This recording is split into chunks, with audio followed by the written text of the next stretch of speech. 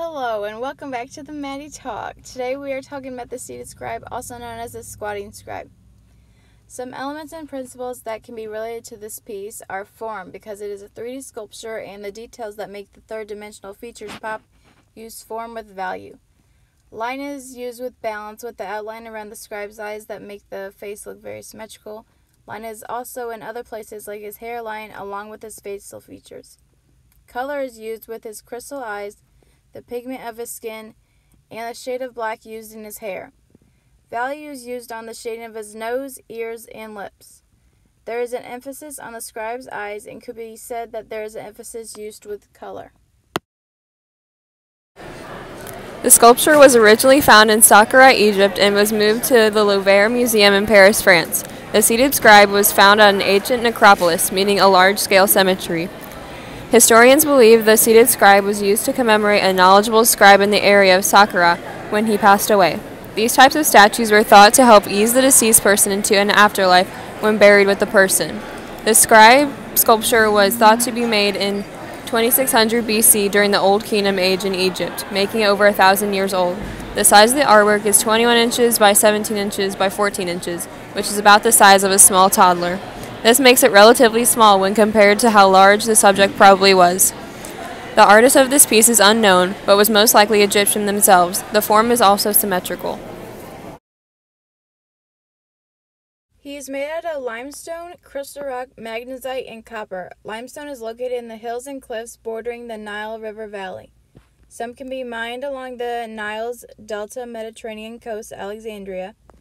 Magnesite is most commonly found in Australia, but can also be found in the Eastern Desert, Red Sea, and in Egypt. The limestone the piece is made out of was painted with very vibrant colors. The rock crystals found in the striking eyes are what captures the most attention from spectators. The eyes being so vibrant cause the onlooker to get a feeling of alertness and intelligence, which connects to how knowledgeable the scribes were. Papyrus was a plant that could be flattened and weaved in order to form what we would call paper. Papyrus plants grew in the wilds of the Egyptian delta and in the Nile River Valley. Some say that the scribe used to hold a brush in his right hand, but it broke off.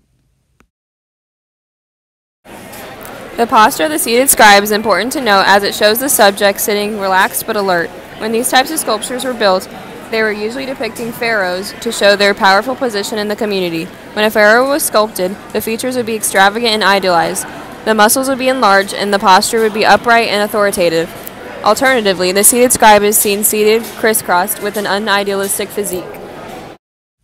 Scribes in Egypt were usually men. Scribes went to school for four to five extra years than the average Egyptian man would. They would learn to read and write. A piece to compare the seated scribe to is King Menkaure and Queen. The king and queen are both standing in a power stance while the scribe is sitting. The seated scribe piece utilizes color while King Menkaure and Queen are carved out of a slate. Although both pieces look like they have full bodies, the back of King and Queen aren't fully carved out, maybe for structure stability, but this makes the seated scribe more of a high relief carving than the King and Queen are. The king and queen piece depicts a set of people that are known to have existed in Egypt. The seated scribe, however, draws some confusion as to if the subject was a real scribe or if it was just a generalization of all scribes that lived during that time. It is more likely that this was a real person because of its burial at a necropolis, but this is not known. Another unknown detail of the scribe is what the seated scribe is sitting on. It is a stone material, thought to be limestone, that will usually contain the subject's name and information about the artist. For unknown reason, the bottom portion of the slab the scribe is sitting on has been cut off.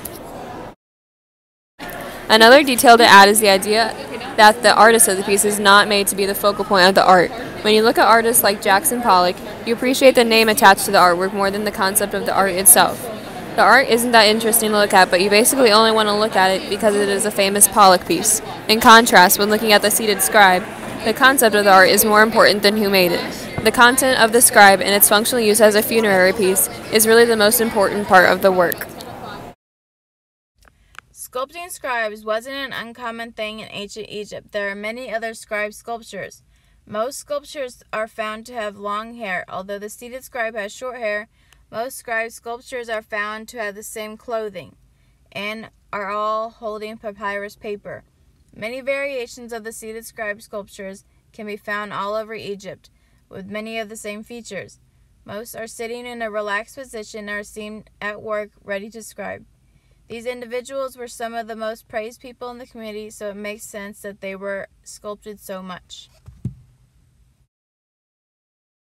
Thank you for coming to Maddie Talk. See you next week for an analyzation of the Colosseum. Peace out, homies.